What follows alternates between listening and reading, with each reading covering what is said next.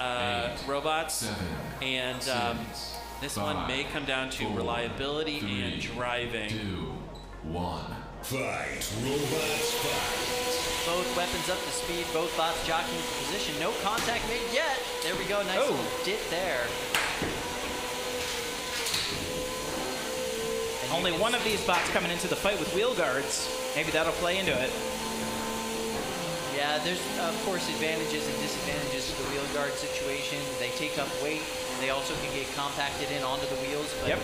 for those glancing blows, the ones that might shred, or shred the wheel off in other situations, they're really helpful. But yeah, you can see Yes Chef driving by Alex.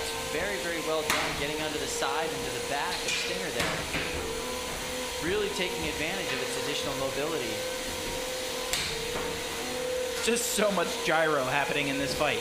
so much. One of the things Alex told me is he kind of shortened the profile on Yes Chef for this particular competition. He wanted to get a little bit more gyro. He wanted to get a little bit more mobility out of the bot and uh, reduce that turn radius as much as humanly possible.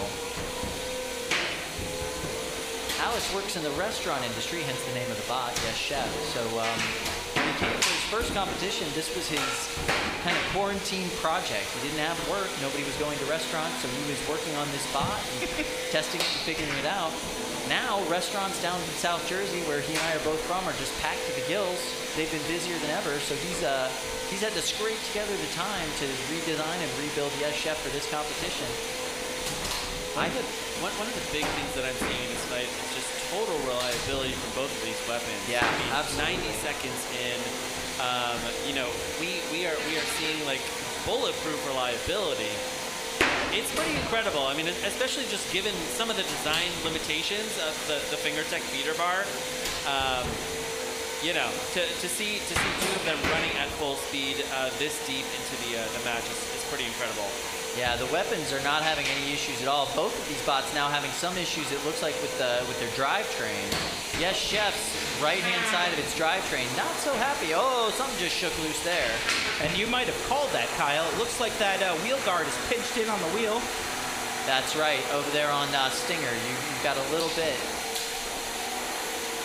a little bit of pinch on that right hand wheel on Stinger.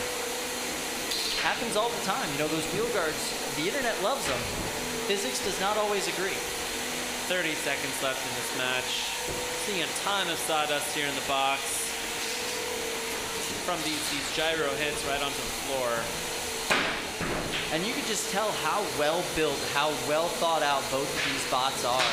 Still working so well this late in the competition after taking all these hits.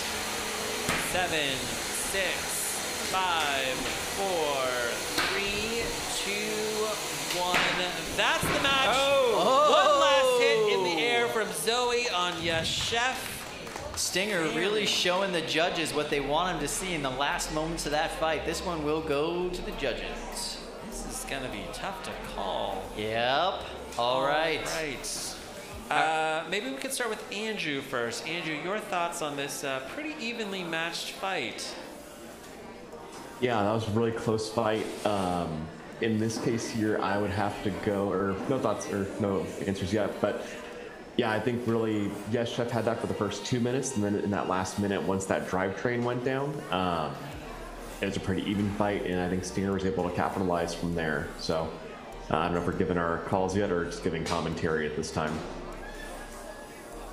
Um, sorry, and your vote is for Oh, I'm gonna go Stinger on this one. That was close. Stinger. All right, one vote for Stinger. How about you, Don? Your thoughts?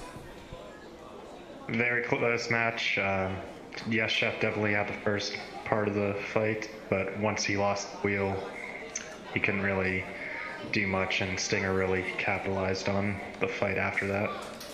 And like the last 15 seconds, what really decided it for me. So Stinger. All right, we've got two votes for Stinger. How about you, Jack? Oh, Jack, you're muted. Sorry. As much as uh, Stinger had, or as Yes Chef had control in the first sections of the fight, again, I have to give it to Stinger as well because once they had control, they did a lot more with it, and in the end, were the ones that finished the fight with a fully functioning robot. All right, we have a unanimous judges' decision. The for judges, Stinger. the judges send yes chef back to the kitchen for being undercooked. Yes, yes, yes. Well played, Chris.